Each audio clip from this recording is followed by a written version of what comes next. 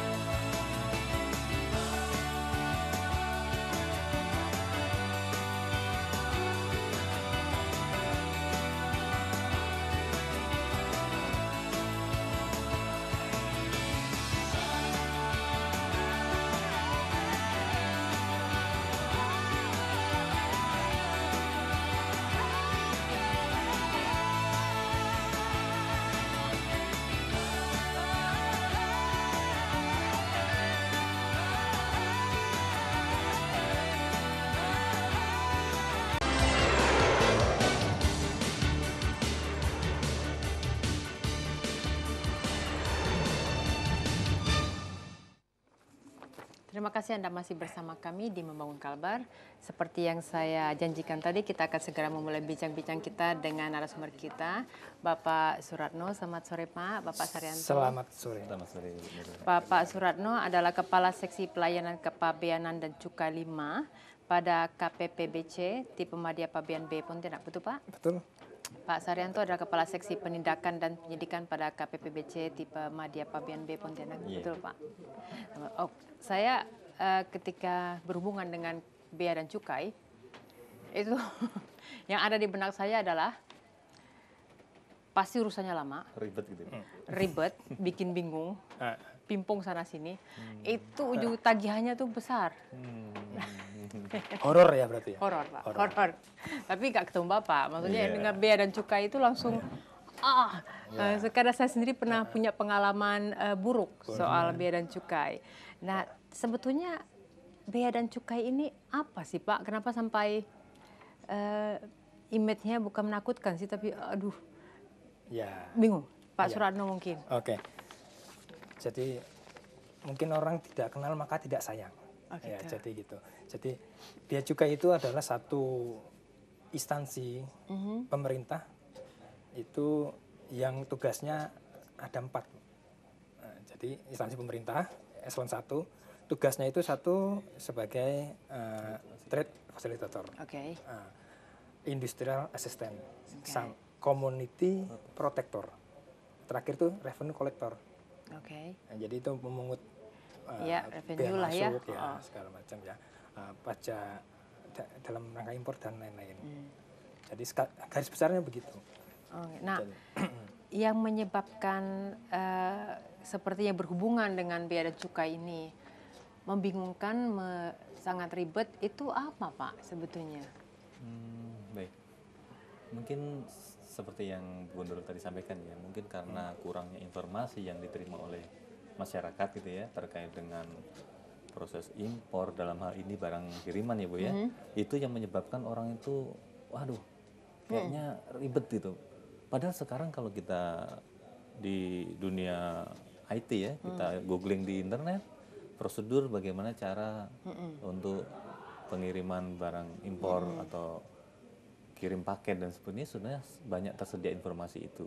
Iya. Namun demikian memang Citra itu mungkin karena beberapa pengalaman yang juga diupload oleh apa ya para pelaku ini kadang-kadang punya pengalaman yang kurang baik sehingga itu menimbulkan ketika dibaca oleh yang lain menimbulkan persepsi yang kurang baik itu. Iya.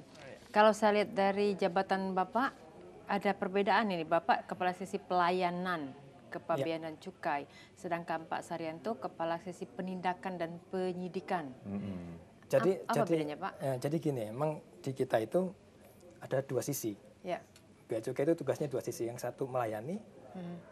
eh, memperlancar, ya kan, eh, arus barang, eh, logistik, gitu. Tapi juga kita jangan sampai melalaikan pengawasan. Jadi ada dua. Yang peng- pelayanan itu terkait dengan apa namanya memperlancar arus barang, sementara yang untuk pengamanannya itu eh, di wilayahnya pengawasan. Itu wilayahnya Pak Saryanto. Pak Saryanto. Nah, jadi kalau pelayanan itu ya tadi yang eh, memberikan fasilitas, terus eh, memungut apa namanya eh, memungut biaya masuk, biaya keluar, ya Iya. kan, pajak-pajak dalam rangka impor gitu. Tapi di samping itu kita juga sisinya itu jangan sampai kecolongan. Nah, kecolongan dalam arti ada penyelundupan, ada eh, apa importasi pemasukan barang-barang ilegal, apa semacam apa ya larangan ya narkoba dan sebagainya. Itu wilayahnya pengawasan Pak, Pak Saryanto. Saryanto. ya. Jadi kalau sudah Jadi dari kita- mulanya dengan apa secepatnya gimana caranya. Ah ini yang berarti dari Pak Suratno Mhm. ada masalah ke Pak Saryanto atau Ya, Mungkin Pak sebagai Saryanto dulu. tipologinya ya, kantor pengawasan dan pelayanan. Pelayanan. Nah. Jadi Oke. prinsip daripada kepabianan itu adalah melindungi tadi yang empat, trade facilitator. Bagaimana perdagangan itu bisa berlangsung sebagaimana betul. mestinya lancar tanpa hambatan. Namun demikian industri di dalam negeri harus juga dilindungi. Makanya community protector terhadap apa? Terhadap itu mungkin maksudnya Indone- em, community protector itu Uh-uh. pada industri begitu Pak. keseluruhan, Keseluruhan, itu istilah artinya jangan sampai adanya barang-barang yang masuk dari luar Hmm. tanpa melalui proses yang benar tidak memenuhi kewajiban itu akan tentunya mengganggu proses Hmm. industri atau ekonomi di dalam negeri. Nah, oleh karena perlu dilakukan pengawasan supaya tidak terjadi penyimpangan-penyimpangan. Jadi fungsinya itu ada empat ya Pak ya? Ada empat. ya, Ya, empat itu ya. Nah, ini mungkin karena kurangnya pengetahuan yang setahu kita revenue-nya aja Pak. Iya, Ya, selama ini mungkin yang lebih muncul pokoknya Iya. pungutan, pungutan seperti itu. Padahal itu kalau di urutannya saja Iya, sekarang di urutannya posisi keempat. Keempat, Iya, iya. gitu. Nah, ah, tapi yang di kitanya ini yang bikin ngeri ini karena berpikiran biaya Ada cukai pungutannya itu itu. pada yang revenue-nya itu. Revenue kolektornya itu. Nah, itu yang bikin Eh, itu image itu Iya. nah, padahal karena kita nggak tahu ya Pak ya ternyata Iya. sebetulnya tujuannya untuk memfasilitasi pedagang betul. kita melindungi uh, Industri. produk-produk industri Iya, kita masyarakat. seperti itu.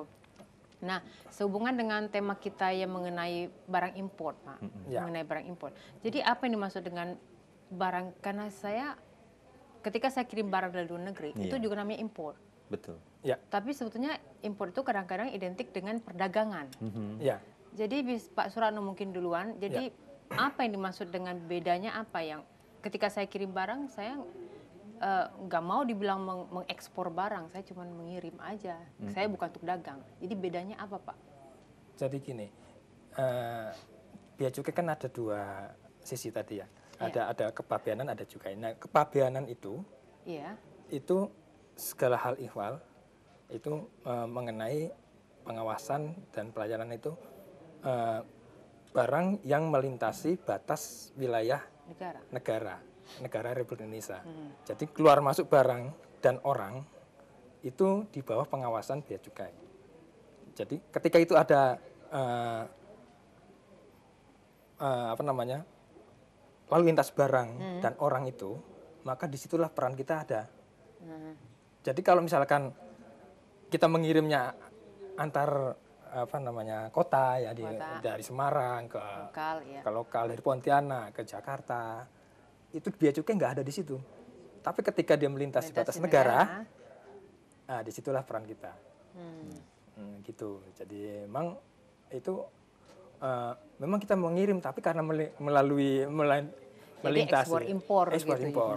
Jadi istilah impor itu barang dari luar masuk ke dalam negeri. Kalau ekspor itu kebalikannya dari dalam negeri kita buat barang dikirim keluar Jadi ke setelah ekspor dan impor itu eh, kesimpulan saya lah ya Pak Saryanto, ya. Iya. bukan hanya yang melibatkan eh, barang untuk berdagang.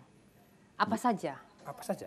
Apa saja? Makanya dibilang lalu lintas orang Lalu lintas sebetulnya lalu ya, lintas jadi- barang dan orang. Uh-uh, karena kalau selama ini masyarakat sama saya tahu ya kalau udah ekspor impor itu dagang. Selalu urusannya Selalu dengan dagang. Dagang. seperti itu. Jadi makanya saya kadang dia terima kalau dapat kiriman barang Mm-mm. Dikategorikan barang impor dan saya harus bayar lagi. Iya betul. Iya. Nah, padahal saya penerima loh Pak. Iya. Iya. jadinya. Tapi nanti kita mengenai eh, eh, apa eh, tarif ya Pak ya. Tarif, ya. Nah saya ingin tanya apa saja yang dimaksud dengan barang kiriman dan impor barang eh, kiriman itu apakah ada beda Pak Surano? Jadi kalau barang kiriman kalau di apa istilah di kepabianan itu ya, yang barang kiriman itu itulah barang yang diselenggarakan oleh penyelenggara pos. Oke. Penyelenggara pos. Jadi, Penyelenggara pos ya. Penyelenggara pos itu ada dua Oke. jenisnya ya. Yang satu itu penyelenggara pos yang ditunjuk eh, Misalnya, pemerintah Pak? itu kantor pos Kantor pos ya. PT Pos Indonesia. Nah, satu lagi itu PJT. PJT itu pengusaha jasa titipan.